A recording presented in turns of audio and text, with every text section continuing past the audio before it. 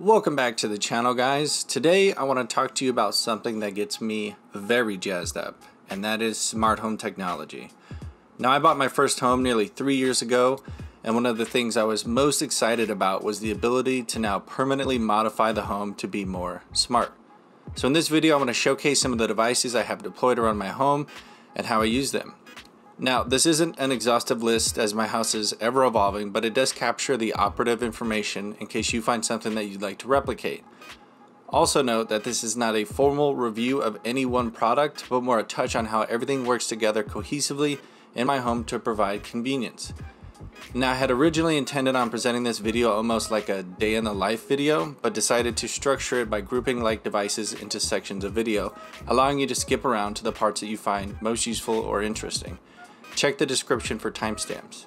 Now, without further ado, let's get into it. Let's start off with the brains of the operation, and this part is twofold.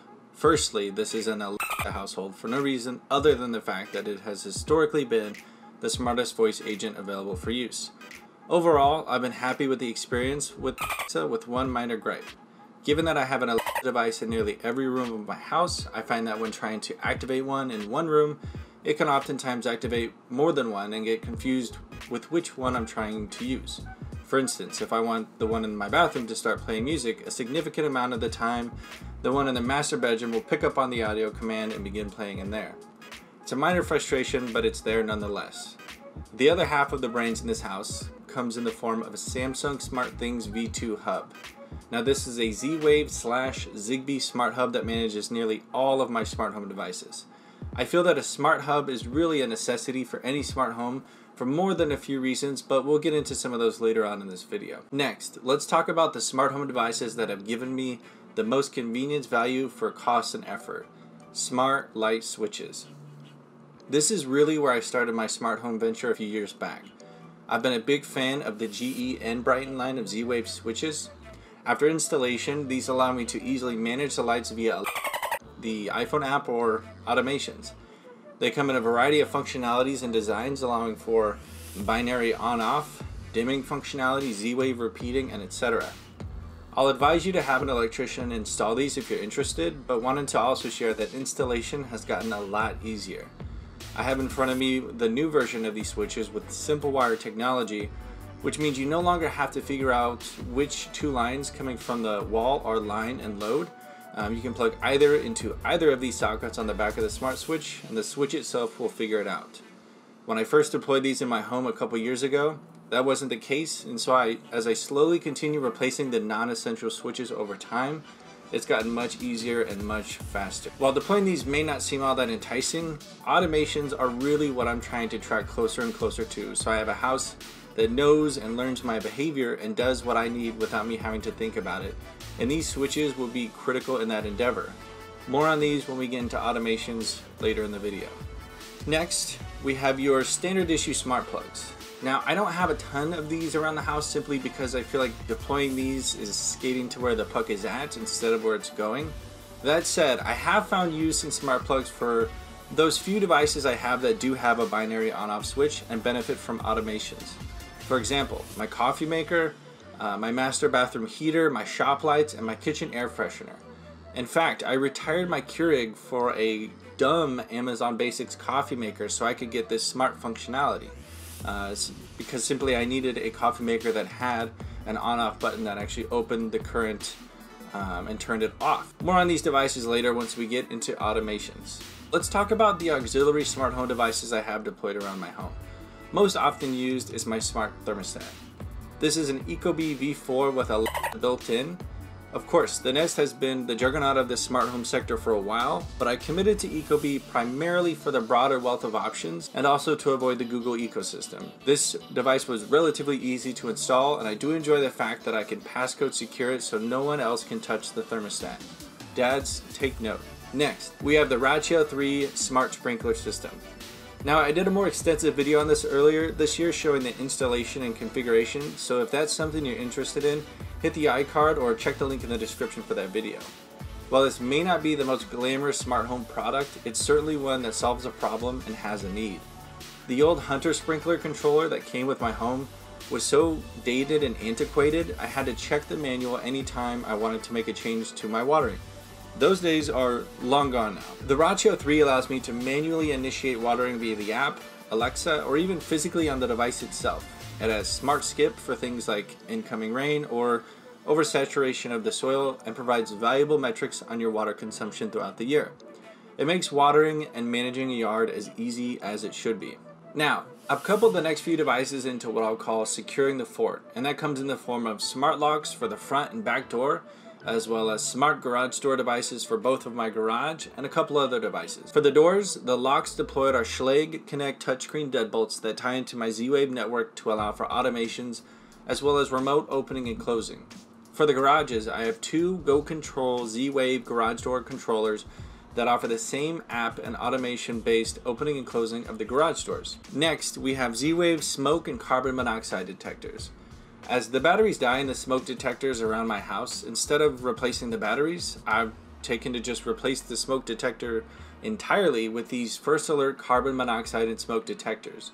These Z-Wave devices not only sound off at the detection of smoke or carbon monoxide, just as a traditional smoke detector would, they also send an alert to my phone that something was detected.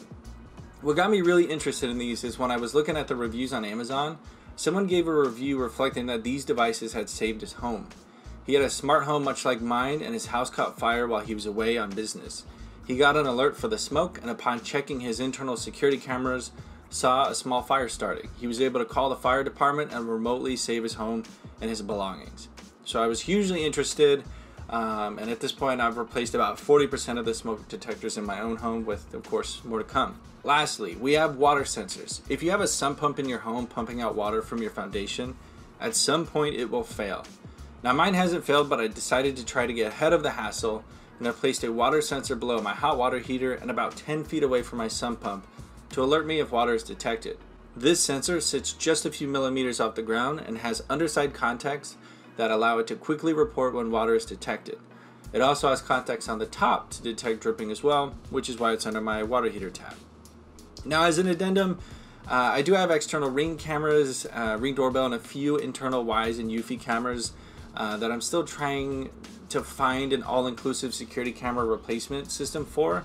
Uh, so I haven't included those in this video, but potentially more to come on those later. Now, I have a Sense Smart Home Energy Monitor deployed. Uh, right now, I struggle to recommend this device as I feel that it hasn't held up to the expectations that the product set. Uh, this device is supposed to be able to recognize electrical signals in your home and identify the product and how much power it's using. I was very excited by that idea as I thought it'd be interesting to see which devices in my home were uh, power vampires constantly sucking up juice when not in use in reality, I have less than 30 devices that have been recognized in almost two years of using this device. Um, and many of them are things like motor 2 or heat 1 and three entries for dryer. So not a lot of value there. Now I've contacted Sense for support and their support team was stellar. But I'm still left feeling disappointed even after connecting with them. At this point, I check Sense every now and then to review the total power consumption over time Ultimately, however, I'm interested in the metrics it's able to provide once I have solar panels installed on my house next month, as it does support measuring power produced with these two included clamps.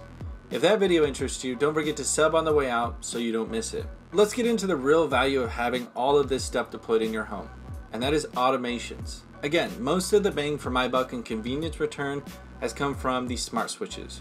For many of my light systems, there are multiple switches and you'll find a plethora of three to four gang switch boxes throughout my house.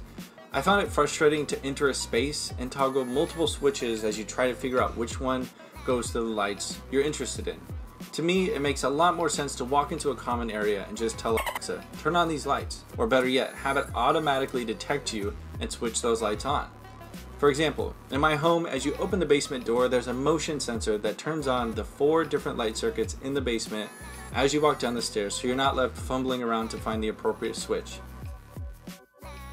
If you're ready to watch a movie and want to cut the lights, don't worry, there's an automation for that. Netflix and chill. And there's even one for watching TV or movies in the living room upstairs. Movie time. I also have multiple door sensors throughout the house and multiple points of egress that toggle on certain lights to ensure there's always light when you walk in the door, even if your hands are full. There's one on the front door, there's one on the garage door, and even one on the garage door. And in the interest of saving power, for any light that automatically turns on from a point of egress automation, it turns itself off 10 minutes later to ensure I'm not wasting juice for no reason.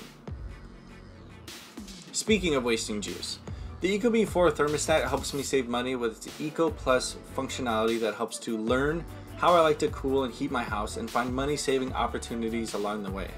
I've also deployed a handful of the motion sensors to allow for the follow me functionality to ensure it's only cooling or heating based on the occupancy of certain rooms. And when I say uh, good night, the Ecobee sets its heating down to 65 degrees, as well as some other automations like shutting off certain light systems, alerting me if doors are unlocked or if the garage was left open, and toggling off the smart plugs. Now 65 degrees is cold, but I love sleeping in the cold. What I don't love is getting out of a warm bed in the morning to brush my teeth in the cold. That's why I have a small space heater hooked up to a Zooz Zen 15 high amperage smart plug. This plug is specifically built for high load appliances like fridges, heaters, sump pumps, etc. And it turns on every day 15 minutes before I wake up to heat my bathroom. So I wake up from a warm bed and head into a warm bathroom. At the same time, I also have another smart plug hooked up to my coffee maker as well as an air freshener in the kitchen. The coffee maker is preloaded with grinds the day before and automatically turns on 15 minutes before I wake up so that coffee is made by the time I walk downstairs. The air freshener is set on an automation timer so that it turns on for 90 minutes during peak activity times in the kitchen. Another convenient automation is the one on my garage doors. Based on the location of my device, as I get closer to home, the garage begins opening while I'm down the street and is open by the time I pull up. So no more dealing with those antiquated clickers or the dead batteries that those come with. I have another automation on both the front and the back door that detects when the door sensor closes and proceeds to lock the door automatically. So no more worrying if you forgot to lock the door when you left the house, but if you wanted to be extra sure, you can always check your SmartThings app. So that's my smart home in a nutshell. As mentioned, it's ever evolving and I didn't showcase everything uh, because I didn't want to make this video too long, so I may make an update video down the road if there's interest.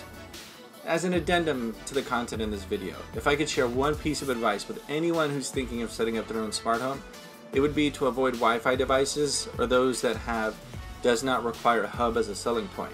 With many of those, you'll end up with a plethora of apps, accounts, integrations and Wi-Fi congestion. So spend a little time learning and then go the route of Z-Wave or ZigBee. So that's all I have for you guys today. Links in the description for all the products showcased here. If you have any comments, questions, or tips for me even, drop them in the comment section below. Thanks for watching.